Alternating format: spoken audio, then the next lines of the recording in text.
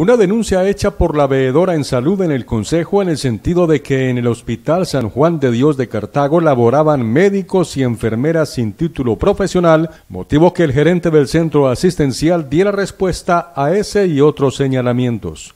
Y que en este momento estamos viendo una cantidad de personal en el hospital pero ojo, no se dejen engañar, porque no todos tienen certificación, ni como médicos, ni como enfermeras profesionales. Entonces, una cosa es que a uno le llenen un hospital de personas para ver uno el hospital lleno por las críticas que hace la veeduría, y otra cosa es que realmente las personas que estén allí sean lo que dicen ser.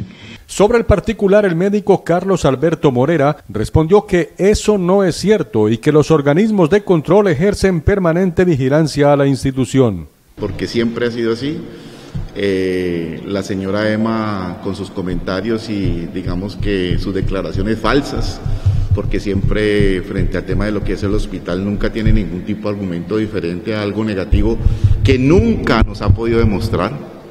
Creo que para eso no soy yo para decirlo. Tuvimos una visita de la Secretaría de Salud Departamental, tuvimos una visita de la Secretaría de Salud Municipal, que ella misma conoce el resultado de esas visitas.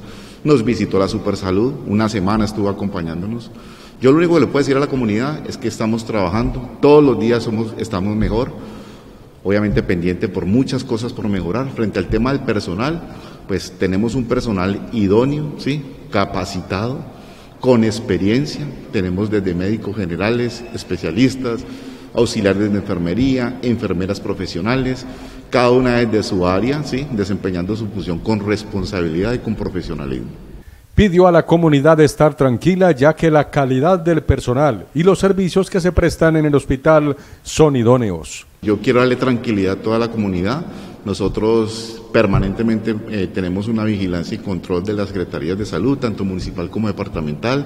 De ellos hemos recibido visitas. Ahí están las visitas, no lo digo yo, lo dice el resultado de las visitas.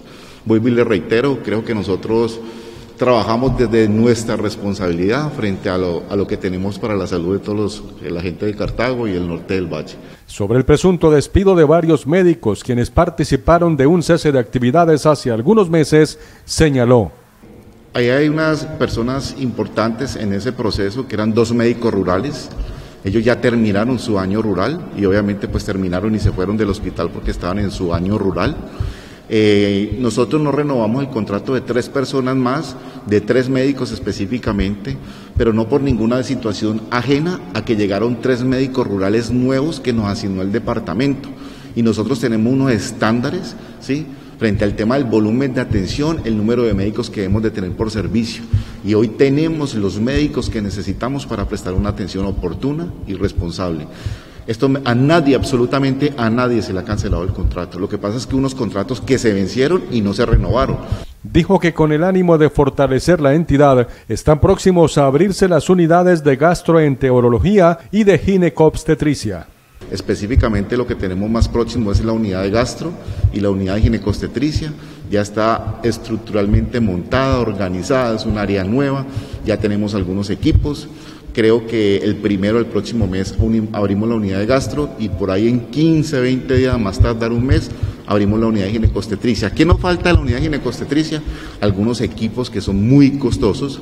Estamos pendientes de unas donaciones que nos está ayudando el departamento, la Secretaría de Salud Departamental y tener algún tipo de otros recursos que ya nos falta muy poco.